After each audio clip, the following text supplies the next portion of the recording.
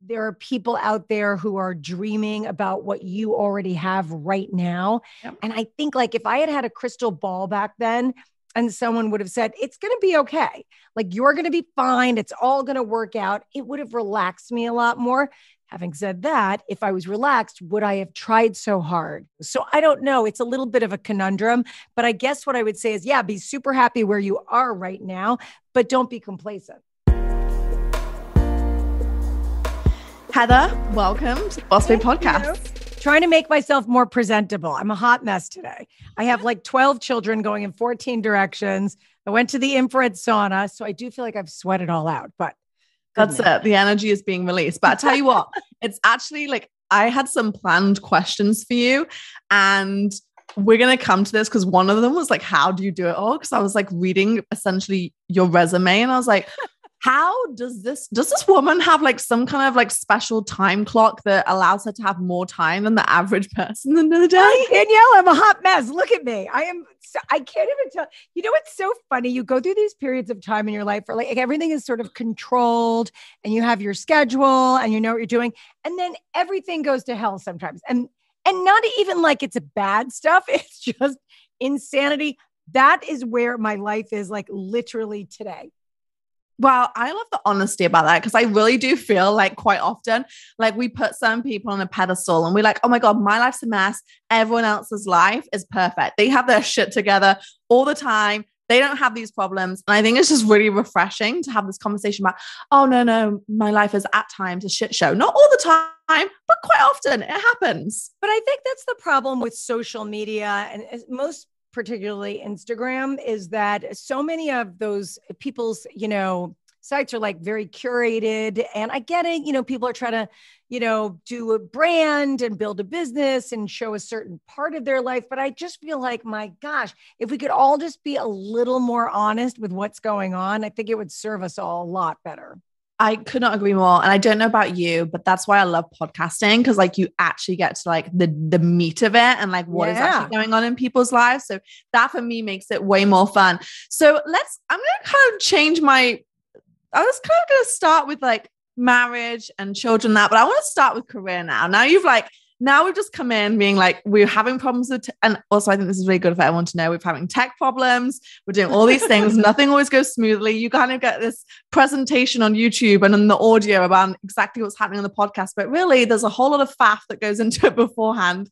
And when i was reading like i said your um bio, etc., of everything that you've done, like from being an actress to being an entrepreneur to having skin line products to having a wildly successful YouTube and an incredibly, I think you're over 100 million downloads or something on your podcast. I think it's which, 150 at this point. like point. insane.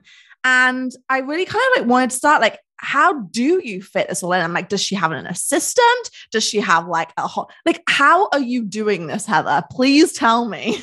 you know, eh, you kind of, it's like anything else in life, you sort of figure it out as you go along, right? So when I was younger, you know, before I met Terry, before I had children, I was a full time working actress. And then, you know, your life sort of, sw- you know, shifts. And I met Terry and, you know, we ended up getting married and I was still working and then we had kids and then, you know, like it just, you figure it out as you go along. What, what has, was hard for me quite frankly, was the shift of going from being a full time working person to a full time stay at home mom. And this was before, you know, streaming and internet and social media and all this. I mean, we had the internet, but I mean, we didn't have like all the different ways to create content that you have now.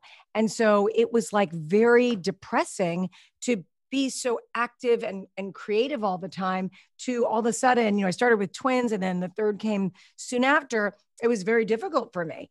Um, then, you know, after a period of time and getting into reality television and my podcast and television hosting and writing books and products and all that and going in those different directions, you do start to realize that you can you can still have your path. Maybe it's a little different and not exactly what you thought it was going to be, but still feel creative and, and feel great about yourself, but able to do it in a way that you can honor the other parts of your life. Because, for example, when I was, you know, on TV, like some shows I was on, I was working 17 hours a day and I loved it. I mean, literally, I was up at 3 30 in the morning. I was skipping to the set. Like, I really, really loved it But for me, not for everyone and not judging anyone that does this, but for me, I, when I became a mom, I wanted to be there. So, what was really important to me and what still is important to me is that I tend to take jobs and take on things that I can do while they're at school. But now, and so that's what I've been doing for the last several years. But now my two oldest ones are graduating high school and they're going off to college. Then I only have two left at home. So then there's the next shift. Do you think it's like an, a layering effect? And I do, I have noticed this, and I'm going to even call myself out as a millennial. Sometimes you're like, oh, but I want it all now. Like I want it yeah. all yesterday. Like, and I, it's really something that I've really battled with being like, okay, I can be like I can be content with where I'm at now and know that I have like several years ahead of me. But I do feel like that has to be really intentional thought process for me, particularly. And I know normally if I'm suffering from something, a lot of our listeners are too. And it's like yeah. just hearing you there, it's like now, you know, I'm reading all this stuff and I'm like, oh my God, she has all these things. And like you say, you just had seasons of it as well. Like, okay, I was a full time actress. Then I had that break with the children, which is not a break at all. I should use that word very wisely. a break from working for yeah. Sure. But you're right. And I think the thing is, is that I wasted a lot. If you can, a life lesson from me is I honestly wasted a lot of time being upset over things that I didn't have. Now, I'm not saying I didn't enjoy my kids and see them, and I really did. And you know, I was the Daisy Troop leader. I was room mom. Like I, I feel like I did not for all of them. I peaked a long time ago. The second two didn't really get as much as the first yeah, two, but right, you've got four, so you're like, okay, yeah, or maybe the, just the last one. But, um, but the truth is, I I really enjoyed it and experienced. But there was definitely a piece of me that was like, but I don't have this. And and I, you know, I think that age and experience has helped me with that. But I do love, you know, that quote that people say, like, there are people out there who are dreaming about what you already have right now. Yep. And I think like if I had had a crystal ball back then, and someone would have said, It's going to be okay. Like, you're going to be fine. It's all going to work out. It would have relaxed me a lot more. Having said that, if I was relaxed, would I have tried so hard? With the things that I wanted to do. So I don't know. It's a little bit of a conundrum, but I guess what I would say is yeah, be super happy where you are right now, but don't be complacent. And like where you're at right now, and because you have lots of different things going on, and like you say, two are going off to college, but two children are going to be at home still. But like, how, what support network have you surrounded yourself with? Because we have a lot of entrepreneurs listening, and they're at different stages. Some are starting out, some are more um, advanced than other was we have a lot of career women and i'm just curious like what support you've given yourself in the home and then like immediately in your businesses which has allowed you to multiply your time because i feel like this is another thing that a lot of people don't talk about is the people around them that help them like multiply their time in a way yeah, that's a good question. I mean, it's definitely changed over the years. I did a very classic mom mistake when my kids were very, very young, where I would have someone, I would have someone come watch my kids so I could run errands and go to the grocery store and do all that stuff. And then I, I woke up one day and said, no, no, no, wait a minute. I got to hire someone to do all that stuff so that I can hang out with the kids. Like I had like that aha moment where I switched it. And I think I've had lots of moments in my life like that where I realize that I am, my support system isn't actually being supported. And I will say this, and I know anyone out there that has been in business long enough and has been successful, you kind of have seen it all. You know, the employees that are phenomenal and supportive and great, and the ones that really aren't, and you put your raw, your eggs in the wrong basket. But I think the thing is this I mean, no one stays forever, and that's okay. I think, you know, sort of the mettle of how you are is you, how you uh, sort of end relationships with people and what you're continuing. And sometimes, unfortunately, it's not possible to do with everyone. But I'm really proud of the fact that everyone that's ever worked in my house and all, like, we're all still friends. My kids are in their weddings. We talk. We, like, it's really, really wonderful. I love supporting women. Um, I will tell you that sometimes it's easier to do it yourself. I wholeheartedly agree with that one. Um, but it's such a balance between. I was having this conversation with Natalie the other day, um, my business partner, and we were just chatting around, like, you know, sometimes you feel like it's easier to do it myself. And I was like, when does it become the point though that it's like eight because the whole this like 80% is done and not aiming for 100%. I'm like, I wonder if 20% is actually like, okay, well, I would have done it this way, but the job still got done. And so I should probably just let that go. Right. And just really like being like, okay, well, if I micromanage everything or if I feel like I need everything done my way, then maybe I'm not actually going to get anything done. And like, I'm showing this because I have this battle all the time in my head. I'm like, wait, but I would have done this so differently. And I feel like my way would have turned out better. But if I had waited to do it my way, I probably would never have got round to it because I'm right. So, so, so I think it depends what it is. Okay. So um, an easy example would be like throwing a party. I think it's really important to surround yourself. Once you get someone in your world that you work well with and you get each other, keep them. Okay. So I have this fabulous girl, Nicole Reineman, that I've worked with for years. And, you know, she, we have a very uh, good shorthand. So if I'm throwing a dinner party or something like that, or, or I need a gift um, wrapped, made, personalized something, or if I need a, a logo for something, she's sort of like we work together on all those kinds of things. I will call her, like even the logos behind me for the podcast, which I know is like weird. You could see my clips right now. It's not zoomed in. My technology is terrible.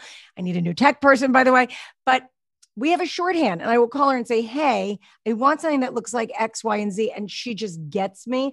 And truthfully, something as important as a logo you would micromanage, but something like a dinner party, it doesn't really matter. So if it's not 100% what the vision was, but it's really great and you didn't have to suffer all of it and micromanage the whole thing, those are the moments you let go. Now, if you're going to pitch a television show and you're writing a deck, um, you need to be involved in every piece of that because when it is important like that and when it is life changing and really important to you, your career, your your trajectory, you've got to be involved in it. So it honestly, it really is about making choices. Now, those are extreme, a party and a career altering moment. But even within those categories, there are moments that you can release. Yeah, no, I really hear that. And I think that's actually great lessons because, like, sometimes it's like, oh, you get hung up on the smaller things that aren't actually going to have a big impact in your career. Right. And I want to talk about that because you have, like, your career, like, you first, what, 1994, you were first appearing on television? God, I think 90. Yeah. Well. I'm like curious, like, it's really hard in show business, particularly, to have navigated such a long career, particularly as a woman, I really want to understand how much of that is intentional, how much of that is luck. Like, how have you strategically thought about this? And also, I hope like the conversation today, like, I obviously I know I, can see so much of your personality on Real Housewives, but I'm like, what is the businesswoman behind this brand? Like, I want to know how your brain works. Okay, so um, oh wait, but, but the first part of the question, the first yeah. part of the question, you know, eh, eh, longevity. I mean, it's everything. It's luck, timing, talent, all intersecting, you know, together. And it's, and it's tenacity. I mean, you have to stay in it. You have got to keep moving forward. And I think that it's funny because I other people might look at my career and go, oh my gosh, look at all the shows and the books and the products and the this and the that. But to me, I look at my career and I go, I know I'm super proud of everything that I've done, um, but there's big holes for me. You know, I always, I, I initially thought I was going to Broadway. That was my that was my career. I was a musical theater person and I still haven't done that. And I feel like that's a that's a bucket that I'd like to fill. Um, I'd like to be back on stage again. I, I, you know, there's things that I feel like I haven't done yet. So I'm not satisfied at all. And I don't mean that to sound ungrateful for everything that I have and everything I've accomplished, but I just there's these other things for me. And I think that's really I think a lot of people relate to that too. And it's kind of like what we started off by saying this in conversation is like, oh, often like you want the things that someone else has.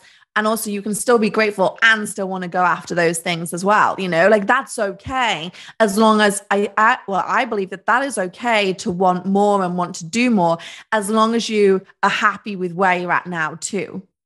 100%. You have to be happy where, and that's why I've never kind of freaked out when, you know, as I'm getting older. I mean, look, you know, no one likes to look in the Zoom mirror and see the wrinkles and the whatever, but you know, if you're happy and content where you are in your life at that moment, and that doesn't mean everything's perfect, it just means you're good. If you're happy in that space, then aging doesn't really matter. But I do think, you know, I think that, eh, you know, as you go on in your life and your career, it is about balance. And I think people think of it as like the work home balance, but I don't think that's it. I think the balance is uh, being very happy with where you're where you are, but still striving for these other things. Like I, you know, Terry and I sometimes will talk about, you know, we have friends that are like, I don't want to call them retired, but they, you know, travel a lot and, you know, they have businesses that they don't have to necessarily be there all the time for. And it is like a semi retired thing. I don't see us ever doing that. you guys are just going to keep going we're just going to keep going. We love it. I mean, we, you know, we've got this new show. We're waiting to hear if it got picked up, Seven Year Stitch, which we had so much fun doing together. And, you know, there's just, I mean, who knew a few years ago we were going to do that? So it's just, there's always just something that we're talking about or concepting. And but, to me, okay. that's fun. But what, in the sense of like, how do you come up with ideas? How are you deciding, oh, yeah, let's, because you must have so many opportunities at this point. Like, it must be harder to say, like, oh no, this doesn't feel aligned versus like, yes, this does. And then you end up with too many things when you play. Like, how are you navigating that? How are you choosing, like, okay, this is the right route or this doesn't feel like I- I'm curious as to that process. I think you have to listen to the universe. And I haven't always done that, but I, have gotten better at it as I get older. And I really do try to listen to the universe because if you listen, the universe will actually tell you which way to go. And you know, I remember interviewing Jane Lynch once years ago, and and she said, "Always say yes." And I agree with that to a point. So I agree, always say yes, especially if something scares you. Try it, whatever. Say yes. But then also there there does come a point where you have to kind of make sure you're not doing things just to do them if it's not fun, if it's not interesting, if it doesn't feed your soul, not everything has to be hugely successful either, by the way. Like you could have a YouTube channel or a podcast that maybe isn't in the top charts or isn't highly rated or doesn't have a gazillion downloads, but there's something about it that feeds your soul, allows you to create a community, uh, you know, then it's that's a success. For sure. Like, how do you measure success at the end of the day, right? It's Only you can. Exactly. Only you can. And I mean, that's really why I started because for me, going on reality TV I initially was like, oh my gosh, this is like the final nail in the coffin that was my my acting. Career. Yeah, why why did you decide to do it? Like how Harry signed the contract. I didn't want to do it at all. so he'd already got botched, right? At that no, point. No, no, botched was so you were the guinea pig? Yeah. But well, Terry had been on a show called The Swan years ago, and he was on this other show, Bridalplasty. So he understood about reality TV. He knew that the landscape of television had changed. I was not interested at all. And um, he thought it was a great opportunity. He was right. And, and funny enough, Botched ended up turning into almost a spinoff. It's funny. So tell me about that conversation at home. So he was like, darling, I've got a great opportunity for you. well, what actually happened was I think I we only had 3 kids at the time and you know when they're casting housewives they call around. And so they had called his office and someone said, "Oh, Dr. Dubrow's wife, da da da whatever." And so here I am at home with 3 kids like dying, right? And they call and talk about a television show. I'm like, "Wait, I'm back?" Yes, of course I'll do a TV show. I had no idea what it was this is a long time ago. This was the only uh, there was only Orange County on the air at that time. So uh, so I met with them and they came over and they did a little videotape of me and I was like, "Oh, this is so great. I'll be back on TV." And then at the end of the day they decided I was to New York. So I was like, "Okay, mm-hmm. whatever." And so Terry says to me, Oh, thank God you didn't get that show. And I go, Why? He goes, Oh, those girls are so mean to each other and they fight. And I'm like, And that's what you wanted me to do? Are you crazy? Anyway, then what happens is Beverly Hills gets on the air.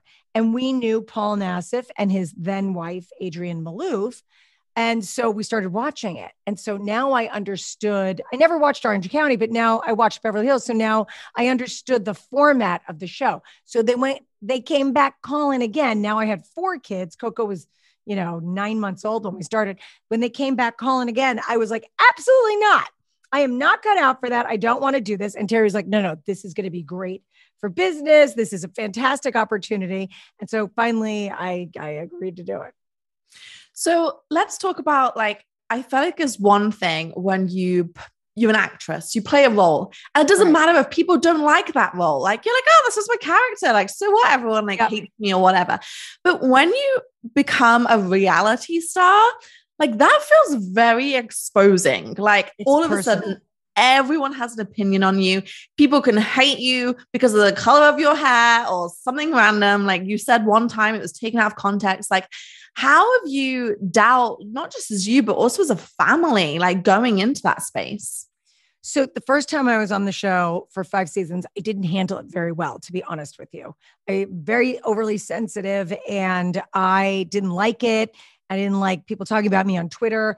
And it's like, you know, you got you're only as good as your last week's episode. They like you one week, they hate you the next week. It's very, very difficult. And to your point, when I was on scripted TV, people call to me and say, Oh, I love your character, I love your show. And when you're on reality, they know you, they know your kids, they know your it's very, very strange. I will tell you that going back into the show this time, I felt very different about it. Um, one of the reasons, one of the biggest reasons that we went back on the show was because, you know, I've got four kids who are different uh, genders, different sexualities. And when my oldest daughter, Max, came out a few years ago, we were really bombarded with like a lot of love and support, but also really terrible and uh, like terrible situations parents that were estranged from their children children that had taken their own lives because they didn't have safe spaces to come out. And i did say to terry i'm like okay so we have this great platform. I really don't feel like writing another book. I you know i'm not we don't need any more products. Like whoa what is it that we can do? And maybe how can we give back here so what we decided was, okay, well, if we bring our family back on the show, maybe wouldn't it be cool if we could open up conversations in other people's homes? Now, I had no, I knew my daughter Kat um, was gay also, but I didn't know she was going to talk about it on the show. Mm-hmm. And and I love that it was a very na- it wasn't like a big coming out conversation. It was just a very normal, natural conversation. And I it was so beautiful and I was so proud of her. And I feel like we accomplished something. I think with everything that's going on in our country, you know, with the transgender rights of our children and the gay rights of our children in Florida and in Texas and everything that's going on, it was really important to me to be able to do that. Yeah, it's like that impact at another level, right?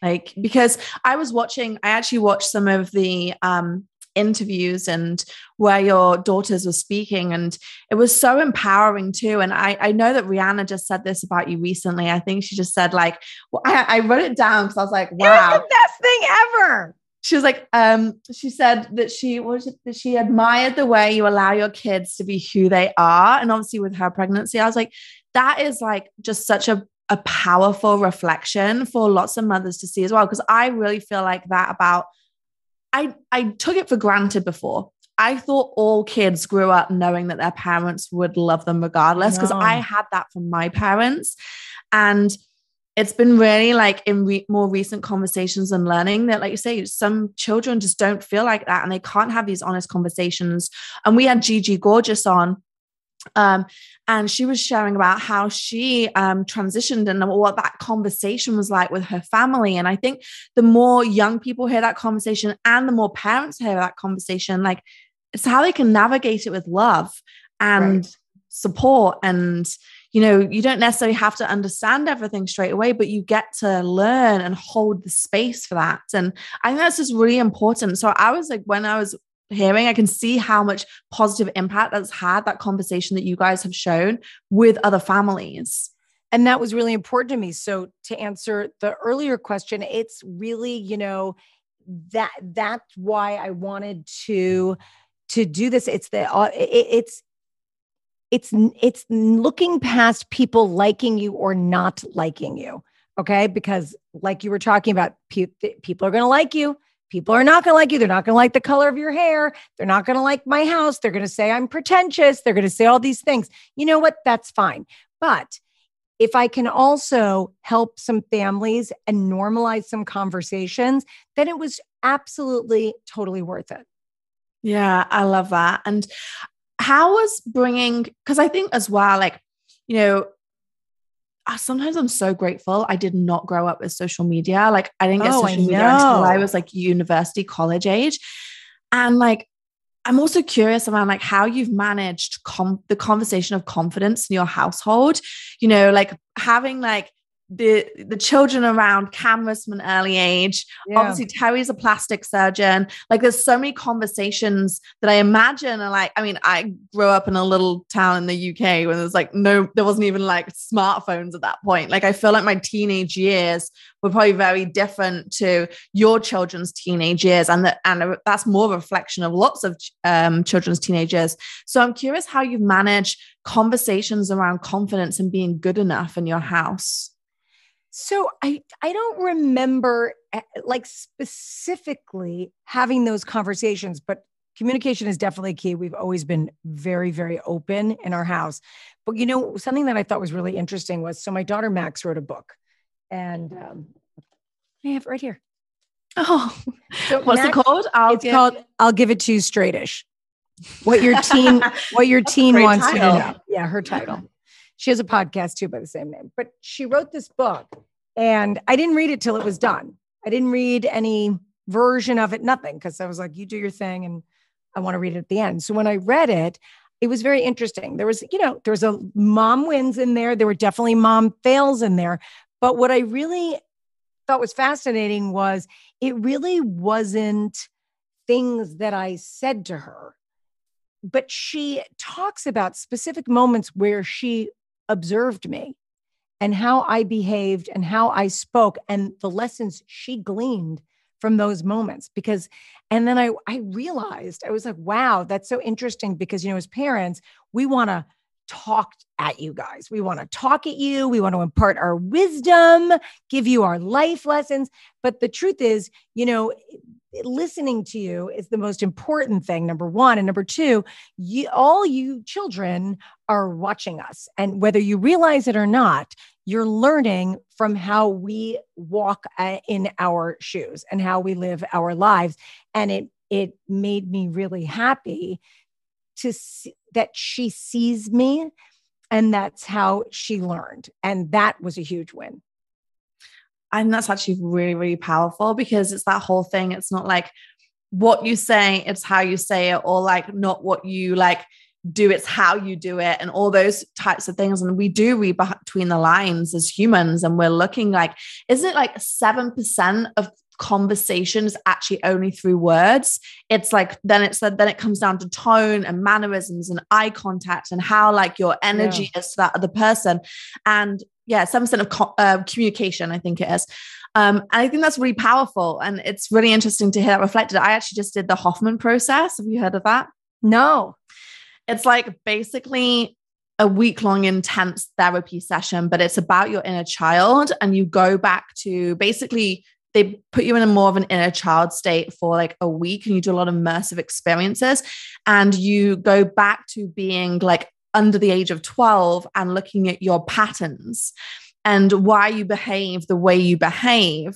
Oh God, this that. is giving me anxiety. no, but it's like fascinating in the sense that I mean, obviously, I don't have children, so I'm not being criticized. but no, it's Did like you call your mother when you left. You're like, wow, okay. I actually called my mother and was like, I love you so much because I realized oh. that my I had a pattern of not feeling good enough. And I realized that and when you go into it, it's like my pattern of not feeling good enough comes because my mum felt not good enough, because my grandmother felt not good enough. And it's right. actually passed down. And the reason I'm sharing this is just because it's so many of the patterns I noticed were reading between the lines. They weren't what my mum or dad had said to me. It was like you just said, like the mannerisms around like their interactions that I had picked up on. And the whole point is like as a child, for survival, you mirror what you see for your right. own survival. Um, and it's, it's just it's just a, a very eye-opening process. But I think it's just really powerful then, like, you know, when you go back to that, and I'm sure if your your children do it, they would have so much love for you as well. And just being like, wow, I mean, it sounds like you did an amazing job too. But That's it's so it's, interesting. But I think really it also comes down to like, you know, it's like, you know, that terrible thing like, do as I say, not as I do. Like people that smoke cigarettes and they're like, don't smoke, it's bad for you. But you see your parents smoking, eh, they're telling you it's okay were there lessons that like from reading the book and having conversations with your children like having that open communication that you've learned like oh if i w- if i was to have more or if i was to go back i would do things differently or not? No i don't think if i could go back i would do anything differently. I think they're really they're really good kids. They're really grounded. They're really nice kids and they're fine they're not perfect but they're they're great and they're finding their way in the world and they have a lot of respect for each other and look they're still siblings a couple of them you know fight like cats and dogs sometimes and do all that we're not the brady bunch but um there is a lot of love and respect and gratitude in this house. And that's really what I wanted. You know, when I was growing up, we were in a very 1950s house. No one talked about anything, everything was swept under the rug. I remember being bored a lot. And all I wanted for my family was like fun, happy, joyous times um, and love and respect. And, and that's what we have. So, staying on the topic of family, obviously, you've been married for a number of years to Terry. I think 1999 you got married. Yep. And your lives have changed a lot over that period. And divorce rates are something like 45% in America in 2021, right? I am curious, what do you what do you think has helped your relationship survive? Because i also see this with like entrepreneurs particularly like you can get i feel like when you have a business or in your case multiple businesses like that's another baby. Like that is literally right. another like thing to look after to make sure it's breathing to make sure it's growing and etc so i'm curious how you've like navigated your communication your relationship over the years I mean, I feel like we've always been really good at prioritizing our relationship. You know, we got married a little bit older. We got we had children a little bit older, so we were kind of fully formed human. How old were you when you got married? 30. 30. Okay. I was 30, but we've been together 25 years. And so um yeah, so I met him when I was 27. Mm-hmm. So um I'm like, wait, how old am I? Right. So so um but like I was a, a, working actress. He was a plastic surgeon. We weren't like in this in the young struggle phase. You know what I'm yeah. saying? So we we came together as as fully formed adults, formed a life together. Um, and yeah, you know, people ask me, how do you survive the reality show curse? Here's the thing: when it comes to relationships, you have good days and bad days. You have good years and bad years. That's just the truth. And it's how you get through them. You can meet someone and just dot all the I's, cross all the T's, and really do your best to pick a compatible person in your life. And it doesn't always work out that way. So there is a lot of luck and faith involved in it, but you also have to really work at it. And we have worked at our relationship. Like I said, we prioritize our relationship. We always have date night. We make sure we're having sex. We we are connected. Okay, I want to. So, what is prioritization? You just kind of said a couple of things there, but like, what date night, like every week, or like, what does that look like? Where you're like, because I I do think like when people do like say have kids and businesses, there's a lot going on. So, I would love to hear any tips on that. yeah, well, when your children are very young, it's exhausting and I think that's the first pitfall that people lose each other in because you're so exhausted. There's always got to be time to have a date night, to have alone time, whether you have, a, you know, a parent that lives nearby, you can hire a sitter or you just put them to bed a little early and set up a beautiful little thing in your kitchen. Like whatever it is, you have got to make time for each other and you have to be you have to uh, use self-care not just your partner, but for yourself. It is really, really important. So many of us get lost in our cell in our children when they're very little and like i said it really is physically exhausting and as they get older it gets more mentally exhausting but yeah we always made sure we had date night we always made sure we were talking very important to talk. Even like if it was a crazy dinner with the kids and all of that, as soon as they went to sleep, we didn't go to our corners and watch TV. Like we hung out together. You've got to constantly make the time and stay connected. And communication, I mean, that's just true of any relationship. You've got to stay communicating. And is your communication style as like a relationship to be like, okay, because I, I've been learning there's a lot of like different communication styles. You're like, oh, this is this is what's happening on my side of the bridge, and this is what's happening on my side of the bridge. Like, how how have you like formed that whole like, look, I'm this, you did this and this really annoyed me, or like, oh, I just want to share about my day. Like, talk to me about what that communications look like over the years as well, because I think it's not only important in relationships, but with children, but also with businesses too. Like, communication is everything. Yeah, and and you you just brought up a really good point. It's like how do you fight? So, you know, when you're younger and more dramatic, fights can be more dramatic. And as you get older, you learn to realize, you know, it's not that important. We have learned to fight much, much better over the years. I mean, he's someone who wants to walk away immediately and then he's over it. Then I stew. And, you know, we had a lot of problems. I'm, I'm there you go. I'm going. I'm going. You're out. but I can't. I want to talk about it now and get it over with. But he wants to walk away for a while and then I'm stewing and it gets worse. But over the years, we have figured out a way to fix our fighting styles. Sometimes we'll text about it um, sometimes like oh, one thing I always say that we love to do is like go for a walk or go for a hike. Cause I feel like also sometimes when you are angry and you are planted there and just the energy is going right into the other person, you can escalate a fight incredibly quickly. That doesn't actually need to be escalated. But if you're walking, moving, hiking, and the energy is kind of going everywhere and the blood is pumping, you expend that energy in a different direction. It's a really good. And there's a finite thing. Like we'll go on a hike and be like, look, here we go. This is the trail. And at the end of the trail, we're going to leave it on the trail. We're going to talk about it. We're going to hash it out. And then we're going to leave it on the trail. And we're not going to talk about this again. Because if you are resenting your person and the same things are coming up over and over and over again every time you fight, you're not resolving anything. Yeah, so so true. I love that. Um Natalie and I have done that before, like walking business conversations that are a little bit difficult versus just like sat there, like, okay, let's just go and walk and like right. talk this out as we're walking. The energy is completely different. One, you're in nature. Two, it's like you're both focused on your walking. You're not like facing each other. You're like actually having a conversation in tandem. So I absolutely love that tip. Okay. I know we're short on time now. I want to ask you one last thing.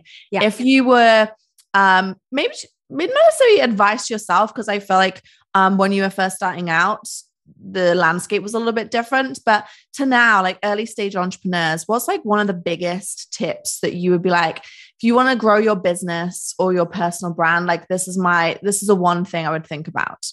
Well, I mean, I think that there's many things, but first there's all, there's many. yeah, there's many, but you know, you really have to do things that make yourself happy. I think a lot of times people get bogged down with I need to be successful, I need to make X amount of money, I need to be the first to do this, the best to do this. I think there's also a lot of people out there that don't network properly. Um, I, you know, gone are the days where you know, you need to be the only one that does something. There's plenty of people that do plenty of things. And my, I guess my advice is there's room for everyone. So grow your network, talk to people. And it might sound super basic, but it's just no. that's just the truth. Talk to as many people as you can, join clubs, go out.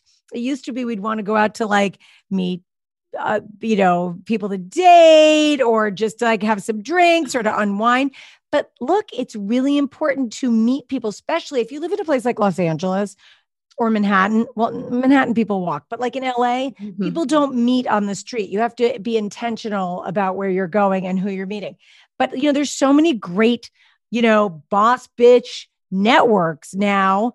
Um, you know, like create and cultivate, like all these really beautiful places that you, the wing, and all these places that you can go and meet people, talk to people, make friends, join forces. Like it's the best thing. And I think having mentors, having mentors is the gift of a lifetime. Yeah, for sure. I could not agree more. Like mentors, it's like helping you on that roadmap. They, they're telling you the mistakes they made so that you don't have to, which is yeah. literally just priceless. So listen, Heather, thank you so much for coming on the Boss Babe podcast. I so appreciate it. I actually, I'm like, I need to get you on again. There are so many things that I want to dive into. I'd be happy to. You're just adorable. Thank you so much. Sorry about all my technology issues at the beginning. No, I loved I, I loved it. I feel like it's just the the real behind the scenes of doing it all. And that's what this podcast is here to discuss because we're not all polished in our social media highlights all the time. So I appreciate you coming on and just sharing your thoughts and being being so real and honest. So thank you so much. Oh, no, thank you. It's so funny. I'm looking at what's next. I have to turn my light around. Speaking of multitasking, and all my clothes from my clothing line that I sell are like on the other side of the room over there. I love it. I love it. You've got a jam packed day. So we'll let you I go. Thank you. Thank you so much. Take care. Thanks, Danielle. Bye. Bye, honey.